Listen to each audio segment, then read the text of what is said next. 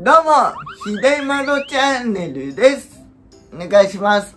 前回、薬剤師さんのお話、意識について伝えました。まあ難しいですよね。まあ僕もこれで合ってんのかなって思いながら、まあ伝えたので、今日は簡単にまあ振り返りと、あとは前回細胞についてお話できなかったので、細胞の働き、その才能が持つ記憶とかね、そういうところをお伝えしていこうかなと思っております。で、前回のお話で、いろいろ薬剤師さんの動画を出してはいるんですけど、やっぱりね、根本、魂が持つその人の形って変わらないと。魂が持つ形、思い、やりたいことっていうのはね。だけど、いろんな人、いろんな人間に輪廻転生しながら、魂って自分のないものをどんどん高めていくもんだと。魂の向上っていうんですかね。だけど根本は変わらないよ。変わるのは人間の形、物の形。それによって、その時の思想とかね、意識とか、そういうもので変わっていくって言ったんですよね。で、それにまた、潜在意識、潜在意識っていうのが入ってくるんですよとお伝えしましたよ。まあ、潜在意識とは何かっていうところで言いますと、自分の意思決定で決めれる意識。例えば、自分がこれをしたら豊かになれるとか、この車欲しい。この車を買ったらかっこいい。この服を買ったらモテるとかね。美味しいものを食べたいからお金を稼ぐ。それっていうのが潜在意識。今の自分を豊かにする、豊かにしたいっていうのが潜在意識なんですよね。で、潜在意識っていうのは、本当はもっとできるのに、自分はここまでできるのに、やりたいのにっていう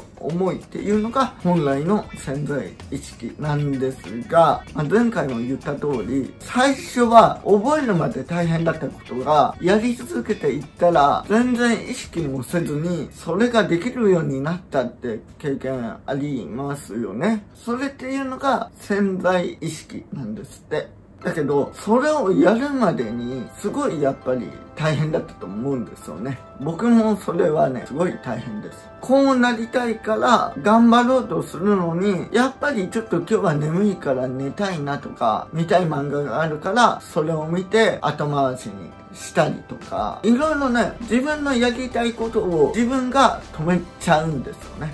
それが潜在意識によって本当に自分の意識が止められちゃうっていう。だけど、その潜在意識より潜在意識を大事にすると自分の可能性、理想の人生っていうところへもっと最短でいけますよとお伝えしました。それが潜在意識、潜在意識の違い。魂はね、できないことは思わない。そう言ってたんですよね。で、細胞ですよ。細胞が持つ意識、記憶、思い、どんなものかっていうと、簡単に言ったら、脅威みたいです。え？って思うでしょう。僕も、ハテナです。ハテナ。めっちゃハテナ。うん。まあどういうことかっていうと、例えば、向こうから歩いてくる人が、怒ってたり泣いてたり悲しんでたりする感情を持ったまま歩いてきてその人とすれ違ったとするじゃないですか。そうするとなんで泣いてんだろうとかなんで怒ってんだろうっていう思いが発動して自分もその人の感情になったりすることありません？それっていうのが細胞の信号をキャッチしているから自分の気持ちに入り込んでくるんですって。でもっと言うとトラウマってあるじゃないですか。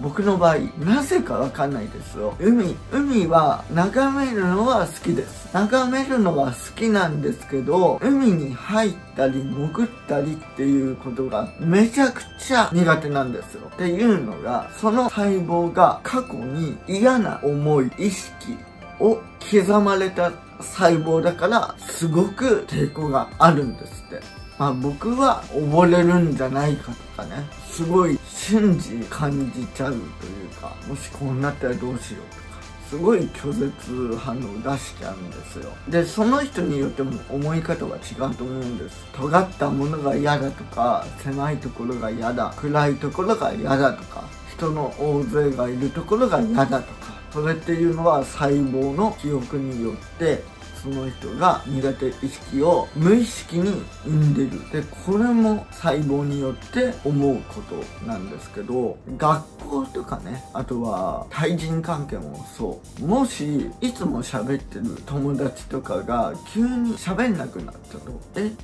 なんで、なんで喋ってくんないんだろうって悩むじゃないですか。だけど、その友達は友達で悩みがあるとしますよね。そこまで気が回ってない時に、そういう状態がたまたま、ここでもここでも起きて、偶然のタイミングによって不調和になったと。そういう時っていうのは、相手の気持ちが勝手にこっちの気持ちに伝染すると。それによって勝手な思い込みが入ってしまうから鬱になったり登校拒否になったり思い込みが激しくて対人不信になったりあるんですしてそれも細胞だと。で一番良くないのが人ってリラックスするとアルファ波っていうのが出るらしいんですよ。アルファ波っていうのがすごい出やすい時っていうのがテレビをぼーっと見ながらご飯を食べてる時まあぼーっとしてる時がアルファ波らしいんですよ。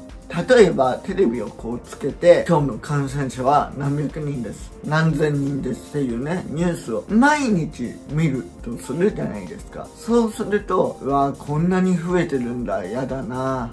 自分もこの中に入りたくないなって思うと勝手な刷り込みで危ない怖い自分がかかったらどうしようとかね。そういう思いがどんどんどんどん刷り込まれるんですって。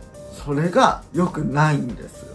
勝手にイライラしちゃったり気が短くなったり怒りやすくなったり一人の世界に入りやすくなったりある種マインドコントロールみたいなもんだと。ほぼそれと変わらないよって。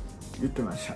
だから学校に行って急に友達と喋ってたのにある日から喋らなくなったとしたらそれは結構勝手なマインドコントロールが自分自身の中に入ってきてるということらしいんですよね。ぼーっとしてる意識の時に問いかけられる時って一番危ないらしいですよ。ご飯食べててお父さんかお母さんになんでお前はできないんだ？とかね言われたらどんどんどんどんあ自分でダメなんだ。なんで生まれてきたんだろう？っていう風にどんどん知らない間追い込んでるらしいですよ。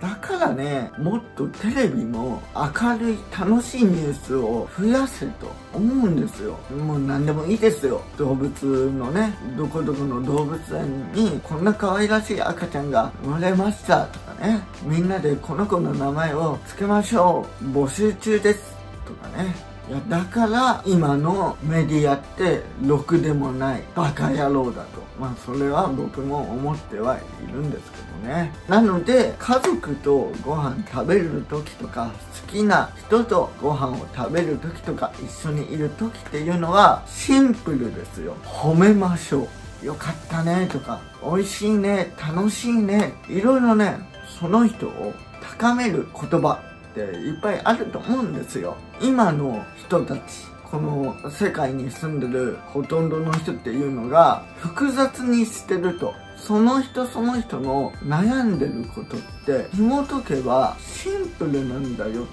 言ってたんですよね。で、僕もそう思うんです。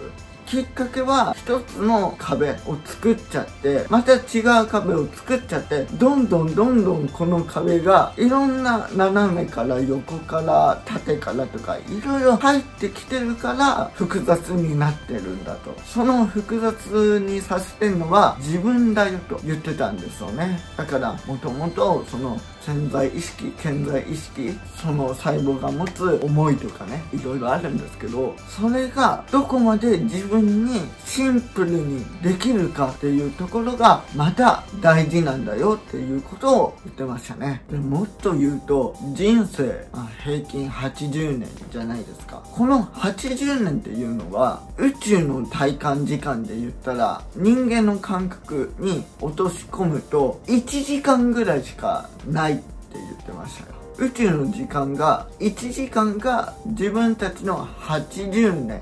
まあその感覚はねぶっ飛びすぎて全然追いつかないですけど全然わかんないですけどそんな風に言ってました。あとねツインレイのことも言ってたんですよね。またツインレイの話とかもちょっと面白いなって思いながら、ま、聞いてたんでその話も次回お伝えしようかなと思います。またよかったら見てください。最後カミールっていうところで占いをやっております。ほんとねあのー、利用者さんがね多くなってきて本当に嬉しいです。ありがとうございます。今125件かな口コミ。ほんと皆さんありがとうございます。皆さんのおかげで僕は成り立っております。いつもありがとうございます。なので、見てほしいという方はぜひ来てください。ちゃんとしっかり見させていただきます。また更新します。